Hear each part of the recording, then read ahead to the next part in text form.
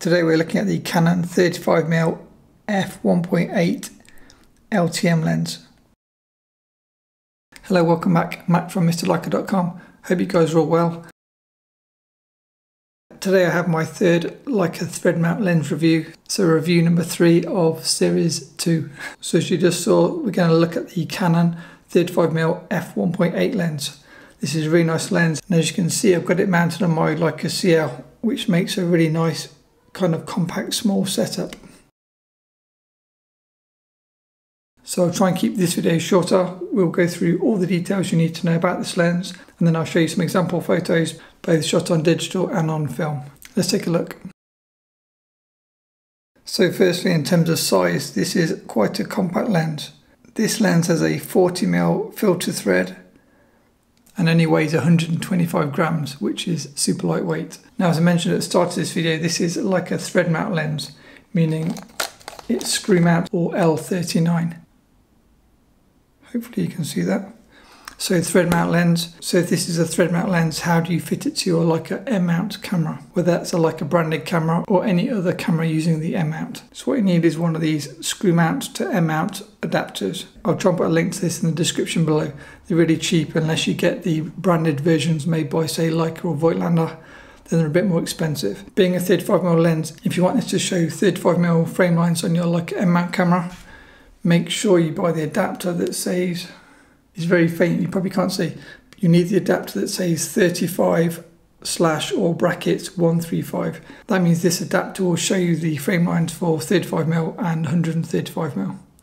Alternatively, you can just use it on a Leica M2, which has already got the 35mm frame lines kind of in the viewfinder. So really nice small lens. In terms of the lens design, it goes from f1.8 to f22 and these are one-stop clicks.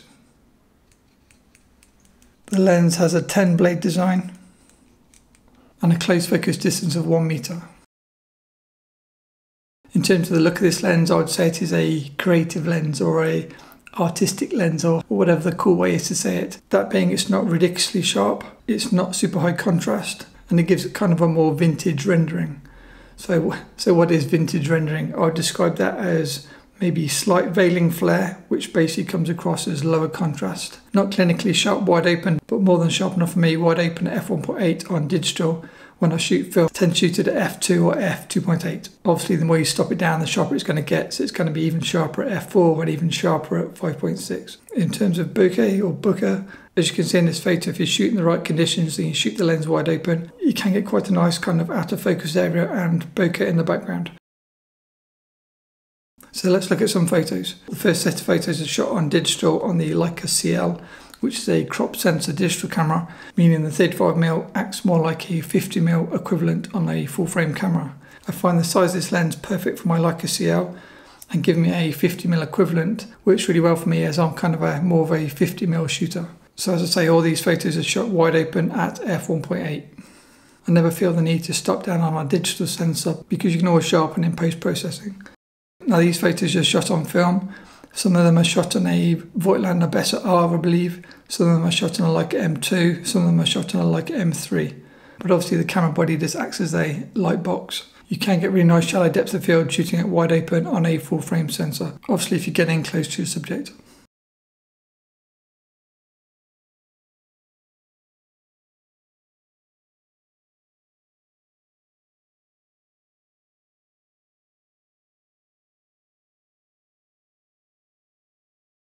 So I've switched this video up a bit and I've put the pricing later in the video.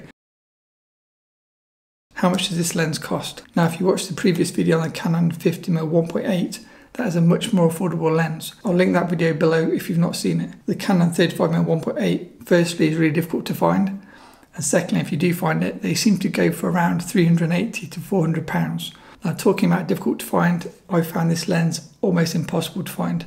But if you saw my last video talking about eBay tips and tricks, Again, I can link it below. We specifically look at this lens as an example and how to find these hard to find lenses on eBay. So although the title probably sounded really boring, eBay tips and tricks, is like, oh, boring. you might actually find it quite useful if you're into these the sort of lenses that I use. So if you've not seen it, feel free to check it out and you will see this lens featured in that video. And so finally the verdict, would I recommend this lens if you can find one? Yes, I've used it a huge amount since buying this lens, I'll tell you approximately 12 months ago.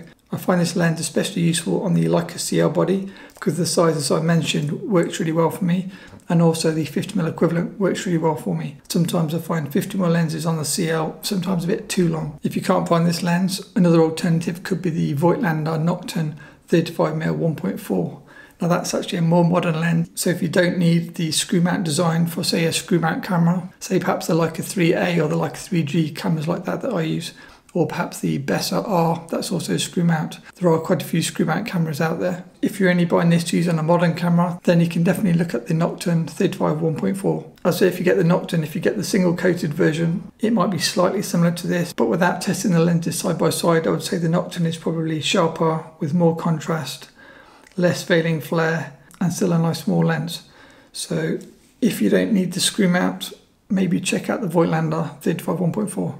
Again, I can link it below. If you don't need the 1.8 aperture, maybe check out the Voigtlander Color Skopar 35mm 2.5. You can get that lens in both the screw mount design and the M mount design. Again, I can link that below. Just to add, the Skopar design is much more contrasty and much sharper and much more modern. So it really does depend on kind of the vibe that you're looking for. This works especially well for portraits, and I'd say the Scope is much more of a kind of modern design, which may be better for non-portraits. Obviously, it depends on your taste. Okay, I think that's it. This might be a world record for a slightly shorter video. So, patting myself on the back. I hope you found it useful. As always, I'd really appreciate it if you can take a second to hit the like button.